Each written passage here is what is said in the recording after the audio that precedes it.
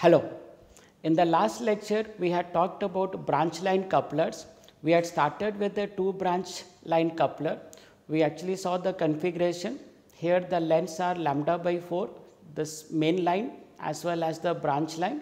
And we had seen what are the S parameters for this particular branch line coupler. So, from here we had done the analysis by decomposing a 4 port network into two even mode as well as odd mode excitation. Okay. So, for even mode analysis first we find ABCD parameters for even mode and then find out ABCD parameters for odd mode and after that apply the principle of superposition to find out the S parameters by using ABCD parameter conversion to S parameters. And then we had applied the boundary condition, we require S11 equal to 0, isolation to be equal to 0 and for half power to the two output ports, this was the condition put. And for that particular condition, we had seen that the impedances come out to be 35.35 ohm and 50 ohm. And then we had taken an example at X band and we had seen that the bandwidth is of the order of around 10 percent or so. After that we saw low cost realization using FR4 substrate or a glass epoxy substrate for commercial application and again here we had seen that the bandwidth is limited to about 10 to 11 percent. So, from 2 branch we went to 3 branch line coupler and we had seen that for 3 branch line coupler bandwidth increased from 10 11 percent to about 27 to 28 percent for S11 and S41 less than minus 20 dB. So, after the 3 branch coupler we went to 4 branch line coupler and for 4 branch line coupler we had seen that the bandwidth is now much larger 40 percent to 43 percent. However, we had noted that there is a small problem and the problem is that this impedance ZA is 213 ohm which is very very high which results into a very thin microstrip line. The width of that may be of the order of 0.1 to 0.2 mm depending upon the substrate parameters. So, this was covered in the last lecture. So, today let us see how this problem of very high impedance can be solved. So, here you can see ZS is equal to 50 ohm and most of the literature actually talks about this 50 ohm.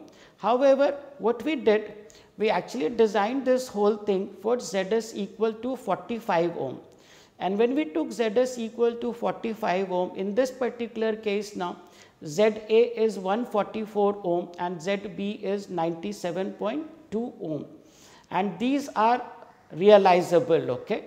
So, after doing that we did the simulation. So, here is the design for that. You can see the various uh, parameters are shown over here, thicknesses are shown, the various dimensions are shown over here and this is the fabricated thing and these are the now measured results. Again the fabrication was done on FR4 substrate and let us see what kind of a bandwidth we get over here.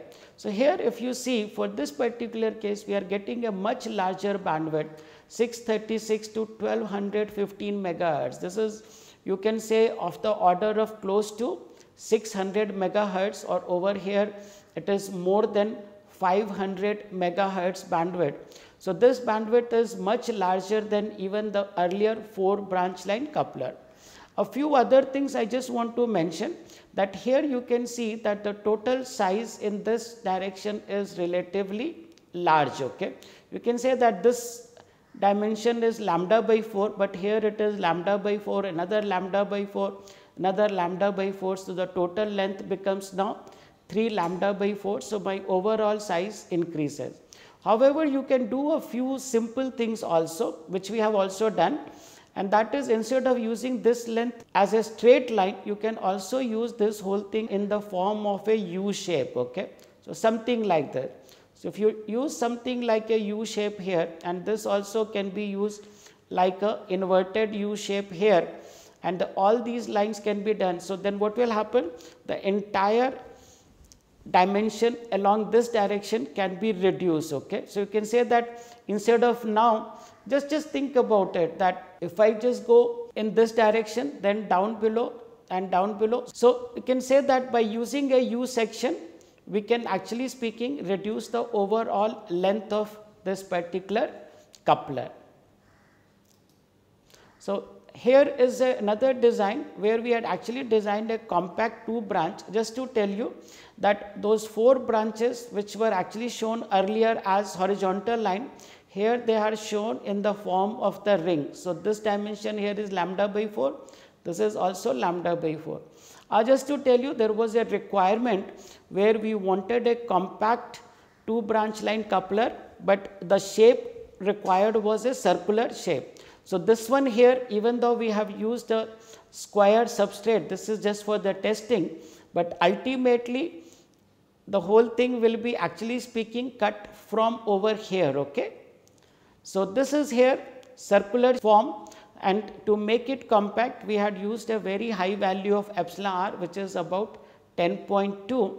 So, by choosing a larger value of the epsilon r the size is reduced. Of course, you can further do the reduction Instead of going lambda by 4 like this, you can go here, then go here, then go like this. So, instead of this curved line, you can always use a U shaped line and that way the size can be reduced even further.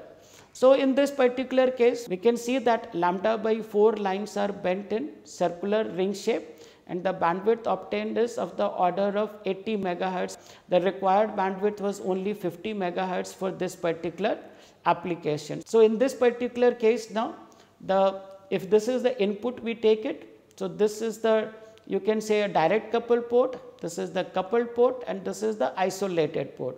So, the power going from here to here and here to here you can see that it is relatively constant and this is the reflection coefficient and which has a similar value for S4. So, only one curve has been shown over here.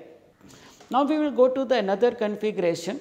This is actually known as a hybrid coupler and there is another name given which is known as a rat race. Okay? But this rat race is the special name only given when we designed this whole thing for equal power division. So, why it is called hybrid coupler? Just recall now in the case of two branch or three branch or four branch couplers, we had seen that the two outputs had a phase difference of 90 degree. But in this particular case, we can design in such a way that when you give an input at one port, let us say port 1, okay, then the output goes to let us say port 2 and port 4, but they are now at a phase difference of 180 degree. And when we give input at port 3, then the output at port 2 and port 4 are in the same phases. So, let us see what it is and how it really works. Okay. So, let us just go with the simple simple thing first. So, port 1 here, port 2, port 3, port 4. So, this length is lambda by 4, this is lambda by 4, this is lambda by 4 and this is 3 lambda by 4. Okay. So, do not compare with the two branches coupler, two branch couplers had all the things as lambda by 4. Here the difference is this branch length is 3 lambda by 4. Now, the general case is that this YA and YA these two are same and YB and YB are same over here. Now, but for a special case I just want to mention for half power going here or half power going here in that special case YA actually becomes equal to YB. But we will see that one by one how do we do the analysis of this particular thing and what are the concept.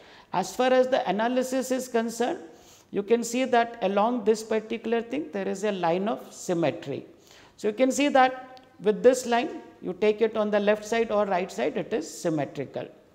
So, the analysis of this is let us say if we start from here so, you can say that there is a port 1. So, from here this length will be now 3 lambda by 8 then there will be a transmission line and this is the port 2 and at port 2 there will be a lambda by 8 line. So, when you do the analysis it will not be same as for two branch coupler, but it will be similar. In case of two branch coupler these two branches had the exactly same length which were lambda by 8 and lambda by 8.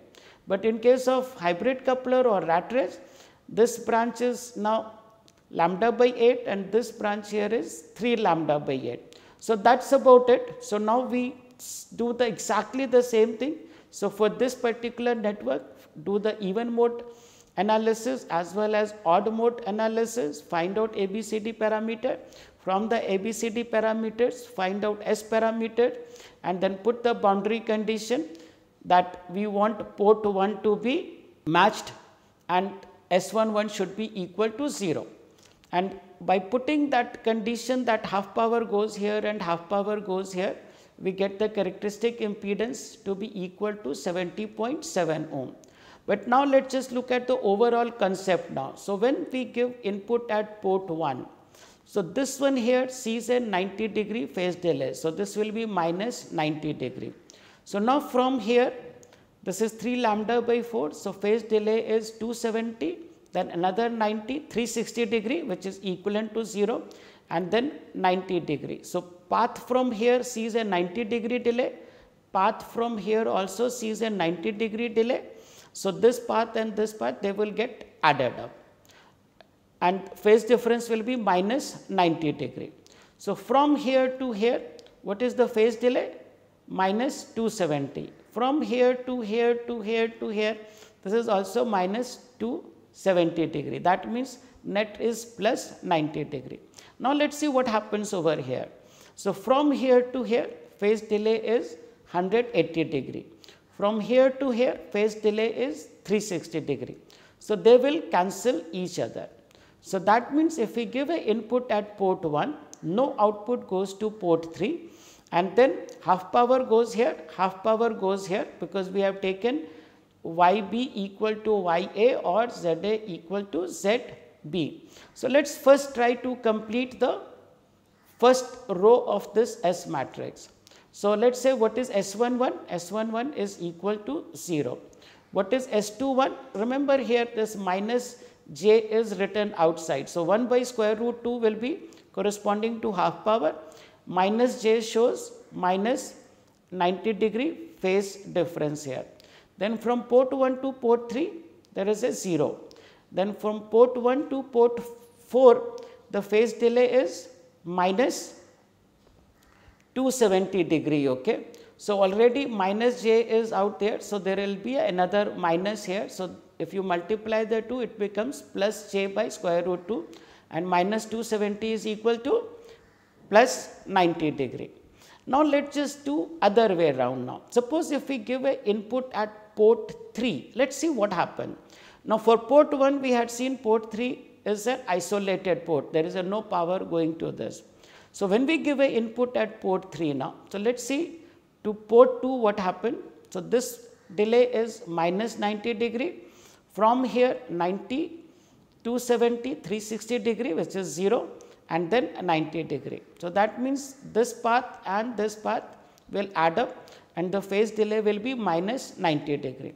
So, from here this is minus 90 degree and this one here is also minus 90 degree. So, they will add up. So, when we give an input at port 3, these two outputs are now in the same phase and the phase delay at this is minus 90 and minus 90. And what happens here at port 1? Well, this is 180 degree, this is 360 degree. So, the net output will be 0 here. So, now think about an application if we give an input at both port 1 as well as port 3. So, what will happen? So, because of the port 1 output here will be minus 90, but because of the port 3 it will be minus 90. So, that means we will get some of these two ports at this one. But because of the port 1 this is at 270 degree, but this is at minus 90 degree. So, that means output at 4 will be the difference of these two ports. So, in fact that is what this hybrid coupler is all about that if we give an input here the two outputs are at outer phase. If we give input at this port the two outputs are at the same phase. And if we give input at both the ports here then the two outputs will be sum and difference of these two input.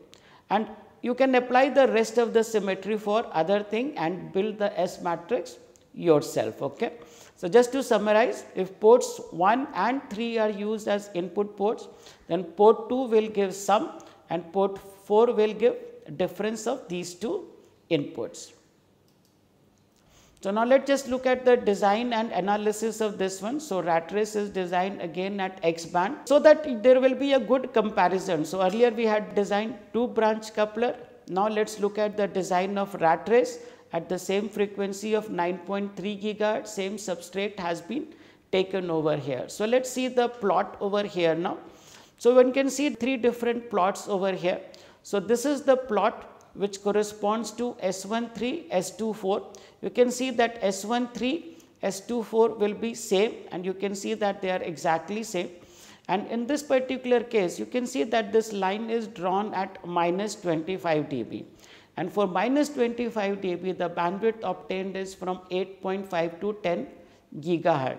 Of course, if we choose minus 20 dB, then bandwidth will be much larger. Okay? But it is not that we define bandwidth for just individual thing. We have to look at the overall bandwidth for all the other performance parameter. So, let us see the power divided output at the two ports. You can see that one response is going like this, other response is going over here. And this is the reason mainly because one path is longer than the other path. So, if you look from here, this is the one path and this is the longer path over here going to this particular side here. So, that is why effectively this is a 90 degree phase delay, effectively this is 180 degree. So, because of the different path length, so one response is in the opposite direction of the other response. But still if you see right from 9 to 10 gigahertz, the difference between the two is very, very small. Okay and this one here shows S11 and S33 you can see that for less than minus 20 dB bandwidth obtained is from 8.5 to 10 gigahertz. Okay. So, actually speaking just to tell you in general rat race has a larger bandwidth than two branch line coupler. However, this bandwidth is still relatively small compared to three branch line coupler or four branch line coupler. So, in fact, Broadband rat race is a very good research topic. So, I urge the listeners, you can do little bit of your own search. In fact, just to give you little bit of a hint also, instead of using a 4 port, there are papers which use 5 ports. One of the port is terminated into match load and that gives rise to larger bandwidth.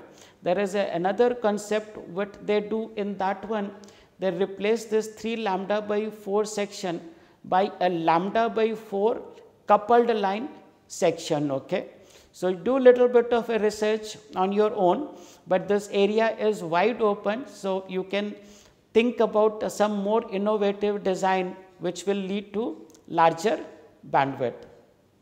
So, a quick comparison of uh, branch line coupler and rat race coupler. So, here 2 branch, 3 branch, 4 branch and in 4 branch we had taken two different cases one was series impedance of 50 ohm and another one was 45 ohm. You can see that the two bandwidths are defined here. One bandwidth is for S11 less than minus 20 dB. Another bandwidth is designed for isolation S41 less than minus 20 dB. So, you can see that the bandwidth increases from here to here and bandwidth increases from here to here.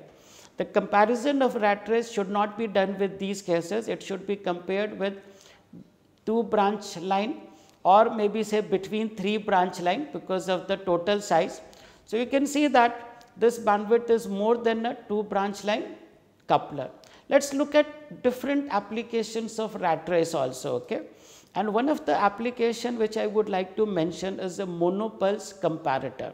What is really a monopulse comparator? I will go through that one by one. Think about first we have two antennas, antenna A and antenna B and they are pointing in one particular direction. And let us say we want to track a target. So, what they do through these antennas, we actually send the same signal, it goes there and from the target the signal reflects back. Now, that reflected signal, what it does, we actually come through these two antenna and these two antennas come to the sum and difference network and one will give the sum, another one gives the difference. Okay. So, this way we can track the object in single plane. But if you want to track the object in two planes, that means you want to track in this direction as well as in this direction. This direction is known as azimuth plane and this direction is known as elevation plane. So, in that particular case we actually need four identical antennas. So, what is done over here let us see. So, antenna A, antenna B we have a sum and difference network and we have just covered rat race. So, you know that rat race generates sum and difference network. So, one rat race will do the job of single plane tracking now, here we need actually four different rat races. Let us see why. So, one rat race here will give A plus B and A minus B. Now, we have two other antennas C and D. So, another rat race will give C plus D and C minus D. Now, these two signal will go to another rat race. Then what we get A plus B plus C plus D over here. So, that gives us the sum pattern and over here a plus b minus this that gives the azimuth difference. And here we have the difference of these two, difference of these two. This gives us elevation difference and this is terminated in match load. It is not required.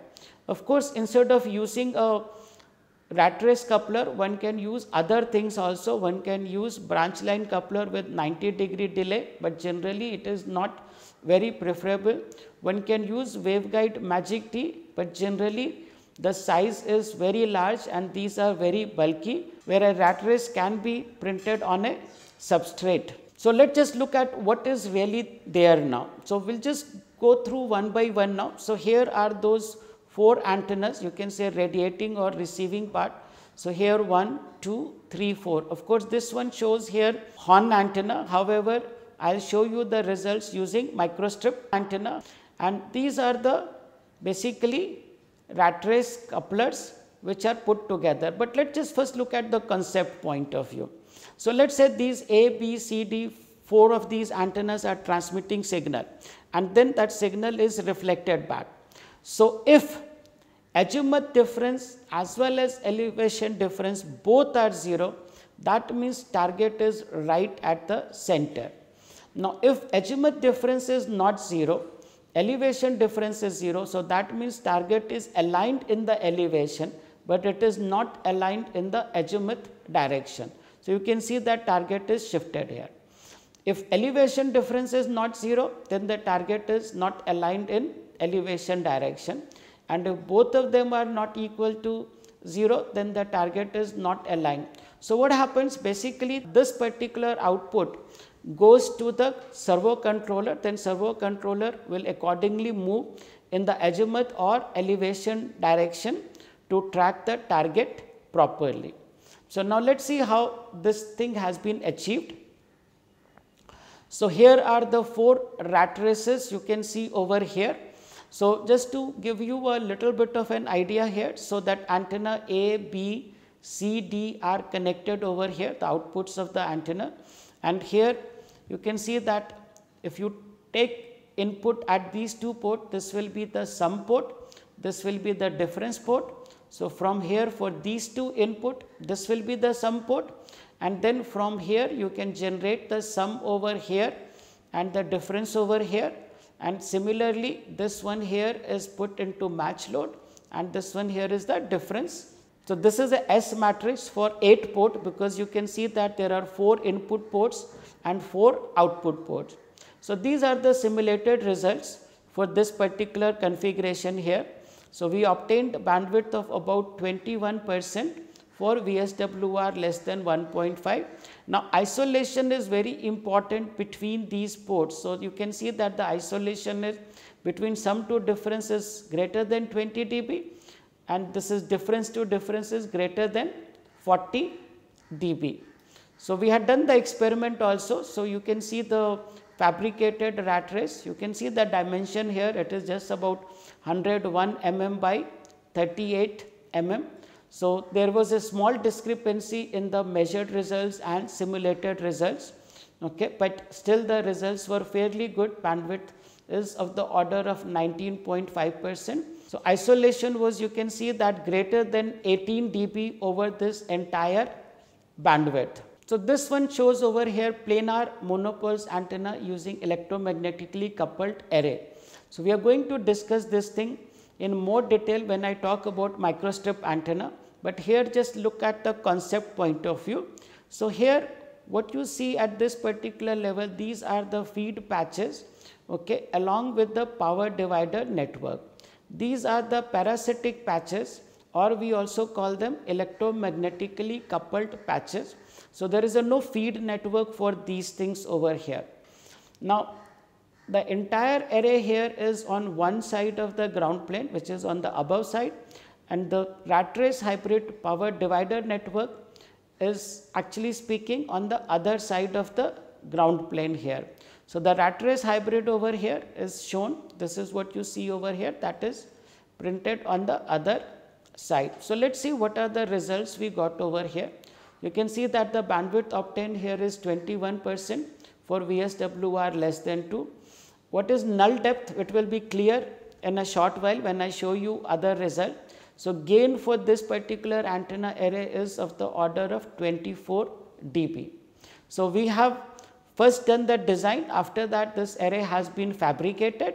So, these are the different snapshots this is the backside layer, this is the in between layer and this is the top layer which shows the parasitic patches over here.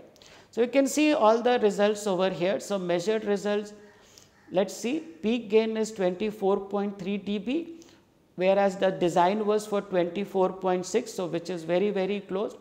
Bandwidth is almost similar except there is a small problem that we had designed it for S11 less than minus 10 dB, but because of the fabrication error it came out to be minus 8 dB. Isolation is as good as we had designed. So, the results were pretty good. Okay.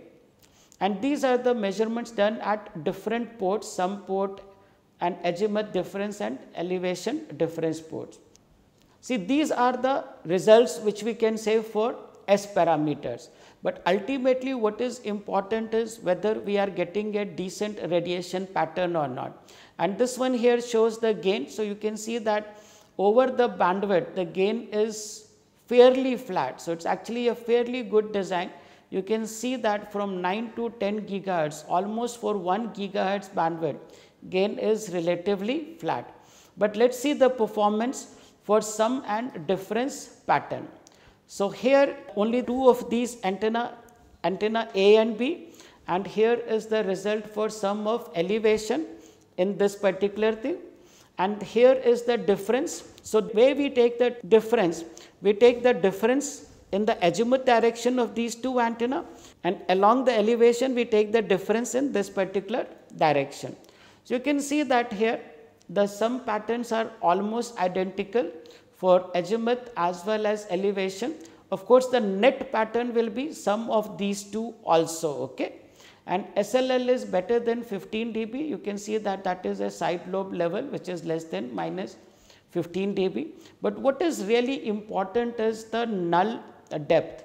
In fact, generally better than 20 dB is considered decent, but we got over here less than 35 dB. You can see that compared to here, see how sharp the null depth is.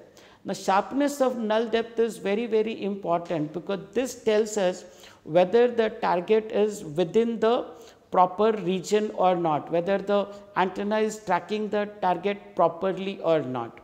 Okay. So, we conclude at this particular point. So, just to summarize, so in the last few lectures, we talked about couplers. So, we started with the coupled line directional coupler, which is good for coupling from minus 10 dB to about minus 30 dB. Then we talked about two branch line coupler, three branch line couplers, four branch line coupler and these are generally good for coupling of minus 1 dB to up to about minus 9 dB. And then we talked about rat race coupler the difference between branch line coupler and rat race is in case of branch line the two outputs are at 90 degree phase difference, but in case of rat race the two outputs can be in the same phase or they can be out of phase depending upon where we are feeding it. And also if we feed at those two isolated ports, let us say port 1 and port 3, then at port 2 and 4 we can get sum and difference of those two signal.